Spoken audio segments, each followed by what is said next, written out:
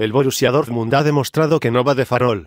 Se movió antes que nadie en el mercado y golpeó primero sobre el césped. La victoria sobre el Bayern, 2-0, en la Supercopa gracias a los goles del español Paco Alcácer, 48, y Jadon Sancho, 69, pone fin a las tres ediciones seguidas ganadas por los de Múnich y aumenta las dudas sobre un posible cambio de rey. El Bayern ha ganado las últimas siete ligas, en Alemania. Lo curioso es que el BBB jugó sin sus fichajes más mediáticos, Hummels, Torganazar y Brandt están lesionados. Schulz, que formó un interesante tándem con Guerreiro en la banda izquierda, fue el único recién llegado que jugó de inicio. En el Bayern tampoco hubo caras nuevas.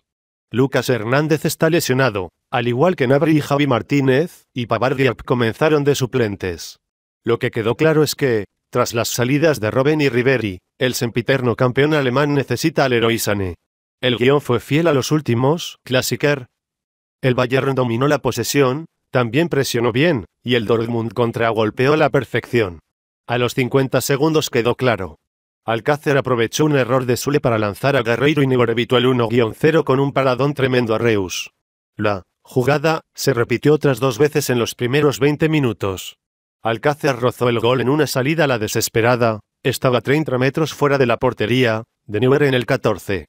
En el 20 probó fortuna Guerreiro, pero Neuer evitó que marcara sacando un pie magistral. La Supercopa, en cualquier caso, no parecía un partido de pretemporada. Se jugó con un ritmo brutal y con muchas alternativas por uno y otro bando.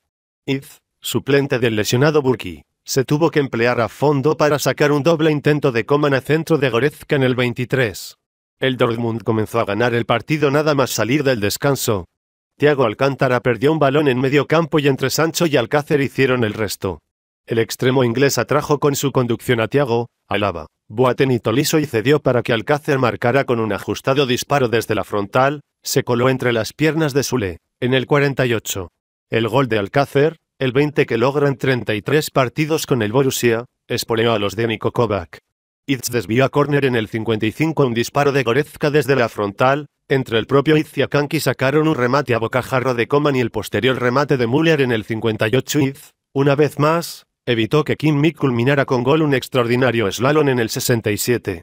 Sancho, en cambio, no perdonó. Volvió a perder Thiago Rafael Guerreiro lanzó en carrera a Sancho. El inglés, en carrera, y con espacios por delante, anotó el 2-0 al marcar con un tiro raso que se coló por entre las piernas de Neuer en el 69.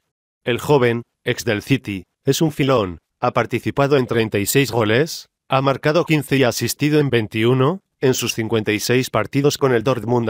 Sin fichajes y con goce, Achraf, de la Neidaud en el banquillo, el Dortmund acabó por desquiciar a un Bayern sin recursos en la banca.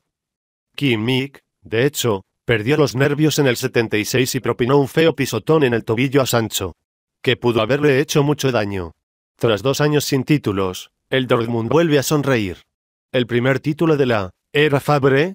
La pasada temporada perdieron la liga tras aventajar en nueve puntos al Bayern, alimenta el optimismo sobre un cambio de poderes en Alemania.